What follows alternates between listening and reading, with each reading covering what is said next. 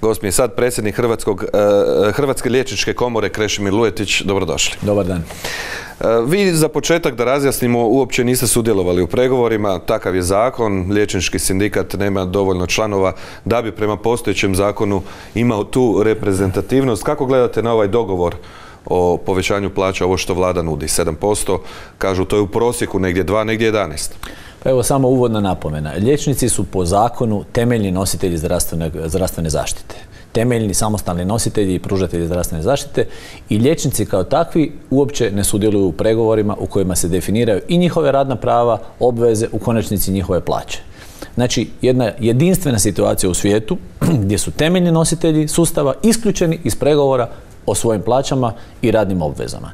Dakle, ne samo u svijetu da smo jedinstveni po tome, nego u Hrvatskoj nijedna druga profesija nije dovedena u takav položaj. Znači, evo, kao da recimo o plaćama pilota pregovaraju e, zemaljsko osoblje ili o plaćama sudaca, daktilografi na sudu. To je otprilike jedna simbolična poredba. Oko ovih 7%. Čini mi se kao da smo u svojevrsnom deja vu od srpnja. Znači, gledali smo pregovore, ministar je parafirao kolektivni ugovor, i onda ga je vlada nekoliko dana kasnije odbacila. Sad se nadam da neće u potpunosti biti ovo repriza srpanjskog događaja, da će se prihvatiti barem ovakav prihvaćen dogovor, a podsjećam, u njemu nisu sudjelovali liječnici, nego su određene druge profesije definirale naša radna prava. Smatramo to apsolutno neodrživim, neprimjerenim, čak degradirajućim i uvredljivim za liječnike. Kažem, problem je u zakonu i to je reprezentativnosti sindikata. Takav je zakon donesen na inicijativu sindikalnih središnjica još 2014. E, ako se ne varam. Točno. E, Zar nije postojao neki drugi način da se liječnici uključe u pregovore? Vidjeli smo da su sudjelovali kao savjetnici ovim sindikatima medicinskih sestara, tehničara i drugog osoblja. SDP-ova vlada 2014. donijela je zakon o reprezentativnosti, da bude još tragičnije, ministar rada koji je bio tada u vladi bio je naš kolega uh, Mirando Mrsić, on je bio i predlagač zakona na inicijativu sindikalnih središnjica i donesen je takav zakon. Uh, zakon kakav je donešen iznjedrio je situaciju da mi ne možemo biti reprezentativni. Čak i kad bi svi liječnici, znači u teoriji, kad bi svi liječnici koji rade u javnom zdravstvenom sustavu, onda bi se eventualno dosegla reprezentativnost. Naravno, svi, nikad si nikad ne okuplja sve djelatnike u zdravstvu, pa u nijednom sustavu. Što se tiče, što se tiče e, drugog dijela pitanja vezano za e, samo pregovaranje i nalaženje modela kako da liječnici doista kao savjetnica predsjednica sindikata je sudjelovala u e, pregovorima, a to vam je statiranje. Znači vi nemate niti pravo glasa, niti pravo potpisa. Vi ste u prostoriji, eventualno možete nešto komentirati i to je sva vaša e, dužnost i funkcija. Već sama ta činjenica je prilično ponižavajuća za liječnike da smo dovedeni u takvu, takvu situaciju. Ako dođe do ovog povećanja u prosjeku od 7%, prema vašem mišljenju, je li to dovoljno? A gledajte, 7% je naravno svako povećanje za pozdraviti e, u ovakvom sustavu u kakvom radimo. Međutim, 7% niti je motiv nekom da ostane u Hrvatskoj, a još manje je motiv kolegama, 800 kolega koji je otišlo iz zemlje da se vrate u Hrvatsku. Znači, 7% sigurno nije simbolična gesta vlade koja će reći evo mi smo konačno spoznali sve slabosti u sustavu, konačno svaćamo da su ljudski resursi ono najviše i najvrijednije što imamo i usmjeravamo se na njih. Nego se dalje govori e, o infrastrukturnim projektima, o nekoj gradnji e, bolnica u, suradnji sa kineskim investitorima, govori se o novoj opremi, a mi zaboravljamo da su ljudi glavni resurs u koje moramo uložiti, bez njih sve ovo je uzaludno. Evo, podsjetit ću samo, imali smo prilog od prije tjedan, dva, o neonatologici pedijatrici iz Pule koja je od mjesec, mjesecu odradila 316 radnih sati, koja je imala 11 24 satnih smjena u tom jednom mjesecu. Imamo situaciju 11 dana po 24 11 sata. dana po 24 sata. Dakle, to su situacije na terenu i to nije nekakva mala sredina, to je Pula, to je, to, je, to je Istra, to je 200 tisuća ljudi koji gravitira toj bolnici. Šta bi trebalo da se njoj nešto desi sutra, šta, zatvoriti rodilište u Puli? Imamo situaciju da u Koprivnici nema urologa više. Nestala je urologija. Dakle, na terenu se događa nešto što e, treba javno znati. Dakle, zdravstvena zaštita postaje manje dostupna, dakle, manje kvalitetna. O tome treba govoriti. E, da, ljudi idu vani, pogotovo liječnici, jer spadaju zapravo u profesiju koja se e, vrlo lako može zaposliti ne samo u Njemačkoj, Irskoj, jer potrebni su i priznati su u inozemstvu, no zapravo koliko bi bilo dovoljno da ostanu? Kako uopće, Gledajte. može li Hrvatska uopće ih platiti toliko da bi oni ostali? Naravno da, da Hrvatska ne može dosegnuti razine plaća kao što je u zapadnoj Europi. I liječnici svačaju naravno i u sustavu i društvu u kojem rade. Rumunjska je jedna zemlja koja je uvijek bila iza Hrvatske po svim ekonomskim pokazateljima. U ovom trenutku osnovna plaća liječnika u Rumunjskoj viša je od osnovne plaće liječnika u Hrvatskoj i to za nekoliko desetaka postotaka. Druga stvar, mi moramo poslati poruku kolegama. Evo, mladi kolege danas koji završe medicinu, gledaju sve ovo što se događa, vide, pregovara se o radnim pravima liječnika, nema, nema uopće naših predstavnika tamo vide promjene propisa, ukidanje staža, reforme specijalizacije, za zadržavanje robovlasničkih, takozvanih robovlasničkih ugovora i zapravo pitaju se hoću li ja ostati u, ovom sustavu raditi. To ono, znači, mi moramo poslati poruku mladim kolegama da shvatili smo da su liječnici bitan resurs, da su oni temeljni nositelji, za sad nema novaca za 50% veću plaću, ima za nekakav pomak, ali Kvalitetan pomak i pravi potez vlade bi bio svačamo da ste nositelji, želimo donijeti zakon kojim ćete moći samostalno pregovarati o svojim radnim pravima. A to bi bio zakon o plaćama liječnika. bi bio zakon o plaćama liječnika. Što u tom pogledu tražite? usporedili ste to e, sa sucima. Tako je. 90. godina u Hrvatskoj je donesen zakon o plaćama sudaca, 20 i nekoliko godina je na snazi i to niko ne osporava, niti, niti vidi problem u tome. Oni su temeljni nositelji pravosudnog sustava i kao takvi uh, trebaju imati takav zakon koji definira njihova prava, ali i obveze. Tražimo jedan sličan zakon, tražimo to od vlade Republike Hrvatske, mislimo da je to jedno logično, pametno i prihvatljivo i održivo rješenje i samim tim liječnici bi bili u poziciji pregovarati o svojim radnim pravima. Primjerice, u zakonu o plaćama sudaca stoji jedna odredba da ako se na određenom sudu e, ne javi niko na natječaj i da se to događa opetovano, da ministar ima pravo povisiti plaću za do 50%. Razumijete me? To bi značilo recimo u sustavu medicine, zdravstva da ako se u nekoj ambulanti, u nekoj bolnici ponavlja natječaj gdje nema e, nikog od kandidata, da se može tamo ponuditi plaća koja je 50% viša nego u većem centru. Evo, to vam je jedan primjer kako se zakonom uredi i slabost određena sustava i da motivacija odmah kolegama za, za ostanak. Još jedna aktualna tema ovih dana kad je riječ o zdravstvu, a pogotovo liječnicima, je da počinju raditi kao liječnici e, ljudi koji su tek završili medicinski fakultet bez prethodnog stažiranja, što je prije bio slučaj. I sad pacijenti se boje. Mislim, doći će nekome tko je tek završio fakultet, možda kao obiteljskom liječniku. E, što vi možete poručiti e, građanima, što tim mladim liječnicima? Prvo mogu poručiti da su naši fakulteti, medicinski fakulteti iz kojih izlaze naši studenti kvalitetni i da naši kolege dobiju izvrsnu teoretsku naobrazbu. Ono što je bio staž ranije, a sad je rad pod nadzorom, kako se zove njegova e, inačica u ovoj novoj varijanti, jedan tranzicijski period između faze studenta, znači studentskih klupa, nastave i faze samostalnog rada kao liječnik. Mi smo kao komora prepoznali jednu opasnost u tom ukidanju staža, ponajviše za te mlade kolege koji neće imati onu potrebnu sigurnost ulaska na tržište e, u, zdravstveni sustav kao samostalni liječnici i zalagali se za reformu staža da on zapravo bude još kvalitetnije zapravo e, strukturiran i da kolege kad ulaze u samostalan rad budu što pripremljeniji.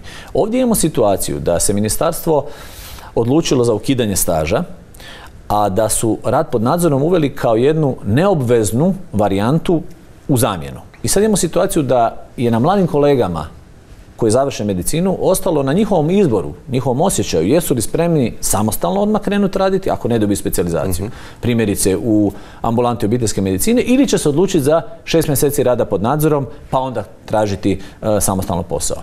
Nije dobro da se u visoko reguliranu profesiju kao što je liječništvo e, uvodi osjećaj nečiji osobni kao e, zapravo odluka hoće li se raditi na ovaj ili onaj način. A liječnika obiteljske medicine nedostaje sad e, može biti ponuda za posao. Pa prema, i to informacijama s terena već se i nekoliko kolega odlučilo za samostalan rad odmah nakon mhm. fakulteta, bez rada pod nadzorom koji, kažem, traje e, šest mjeseci. ti kolege su počeli samostalno raditi odmah nakon fakulteta. Uvjeren sam da je poslodavac koji ih zaposlio dom zdravlja e, naravno uzeo obzir sve elemente koje takav rad e, nosi. Ako se ne varam, oko 2000 liječnika nedostaje u sustavu zdravstva, najviše baš u području obiteljske medicine. E, kako je to moguće riješiti? Evo, Dok naši liječnici odlaze van, možemo li to riješiti uvozom liječnika iz To nije tako lako nekih kao kad... siromašnih zemalja, a gdje je ipak e, dobar, dobar neki medicinsko obrazovanje i fakultet? Da, to nije tako lako riješiti. Najprije ovih 2000 nije većina obiteljskih liječnika, to je nekoliko stotina obiteljskih liječnika i većina bolničkih liječnika, jer recimo bolnički liječnici su ti koji godišnje ostvare 3 milijuna prekovremenih sati. Kad bi mi htjeli sve sustav da funkcionira bez prekovremenog rada, treba nam u bolničkom sustavu još najmanje 1700-1800 izvršitelja. Nekoliko stotina ambulanti obiteljske medicine bez nositelja, to su liječnici u obiteljskoj medicini koji nedostaju. Kako riješiti ovaj problem? Naravno, preko noći je nemoguće. Dio liječnika bi se vratio nazad kad bi ovdje imao povoljnije uvjete. Ono što možemo regulirati ili možda motivirati za dolazak iz drugih zemalja, ali gledajte, u Hrvatsku neće doći ako može otići u Austriju ili u Njemačku. Znači, on mora, mi smo zemlja Europske unije, on mora proći otprilike podjednake e, procese priznavanja dokumentacije i strane kvalifikacije inozemne za Hrvatsku ili za Austriju ili za Njemačku. Pa ako već neko želi, primjerice, ne znam, iz Makedonije ili neke druge zemlje e, u okruženju otići u inozemstvo, on će se jednostavnije od- odlučiti za zemlju gdje će imati bolje uvjete rada. E, u ovom trenutku... Znači nismo čak ni atraktivni. Ne, imamo određeno naravno broj zahtjeva godišnje, ali on se svodi na nekoliko desetaka. Nismo atraktivni e, stranim liječnicima za dolazak u Hrvatsku. I još jedan podatak samo. Po prvi puta u, pa evo, u povijesti e, naše zemlje imamo situaciju da je plaća liječnika na specijalizaciji, znači liječnika koji nije stažist, nego je krenuo, ima 4-5 godina radnog iskustva, niža od prosječne plaće u gradu Zagrebu. Znači ona je niža od prosječne plaće u gradu Zagrebu. U gradu Zagrebu je 7600 prosječna plaća, liječnik specijalizant ima 7000 kuna plaću. I tih 7000 kuna on ima do svoje 30, 31, 32 godine života i s tim bi on trebao živjeti, zasnovati obitelj, kupiti stan. Da.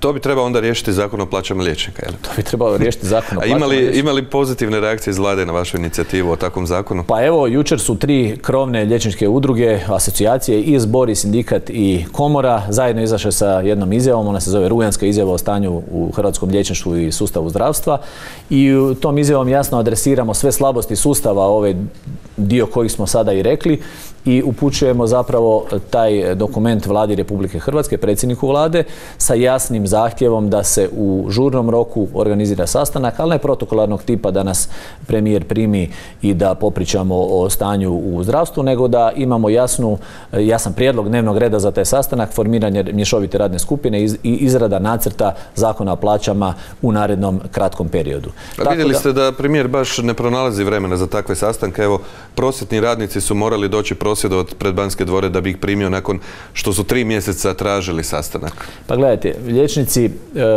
smatramo da smo, evo, ako, ako smo temeljni nositelji zdravstvenog sustava, onda sigurno premijer treba naći vremena i primiti predstavnike tri krovne liječničke asocijacije. Ako se to naravno ne desi, to će biti poruka liječnicima e, poruka vlade prema liječnicima i mi ćemo to znati e, akceptirati i u konačnici odlučiti se za naredne akcije. E, što se promijenilo nakon što je ona liječnica u Čakovcu kažnjena jer policiji nije javila promjenu e, stanja njezinog pacijenta, on izazvao tešku prometnu nesreću. Jesu li liječnici počeli češće javljati policiji to i kako uopće gledate na tu mogućnost da se liječnici kazne ako ne prijave promjenu stanja pacijenta? Da, evo mi smo imali taj slučaj koji je bio medijski dosta popraćen, nakon toga smo e, sastali se sa ministrom Božinovićem i cijelim timom, imali smo jedan sastanak na razini kompletnog vodstva Ministarstva unutarnjih poslova i liječničke komore na kojem moram reći da je ministar i vodstvo ministarstva prihvatila argumentaciju e, struke da nije primjereno ostavljati ovako široku obvezu liječnicima, a e, nedefiniranu e, precizno u pravilniku da se prijavljuju stanja koja mogu biti povezana sa smanjenom e, sigurnošću vožnje automobila. Toga nema u Europskoj uniji i moram evo reći da je ministar usmeno na tom sastanku prihvatio argumentaciju i rekao da će kod izmjene dopune, izmjene i dopune zakona koje će biti prva na redu i jedna od izmjena ići u tom smislu da ta obveza ne bude na taj način definirana, odnosno da se ostavi mogućnost prijave, ali da to ne bude obveza liječnika. Tu naravno govorimo i o povjerenju liječnika i pacijenta i o cijelom nizu situacija gdje vi možete prijaviti teoretski svakog pacijenta koji ima tlak, koji ima dijabetes, koji ima alergiju pa uzima tablete za, za smirenje alergije koji su antihistaminici. Vrlo širok dijapazon mogućnosti kog sve teoretski vi možete prijaviti.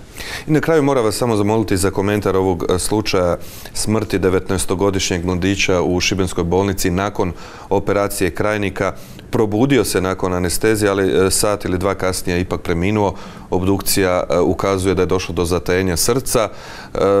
Imate li neke dodatne informacije kao komora što, što, što je posrijedi, je li možda riječ o liječničkoj pogrešci? To je doista tragičan događaj koji evo, pratimo iz medija. Nemamo službenih saznanja niti dokumentacije, ne mogu komentirati e, detaljnije ovaj slučaj. E, pričekat ćemo kompletan i cjelovit obdukcijski i patohistološki nalaz i nalaz unutarnje kontrole e, bolnice i donijeti daljne odluke.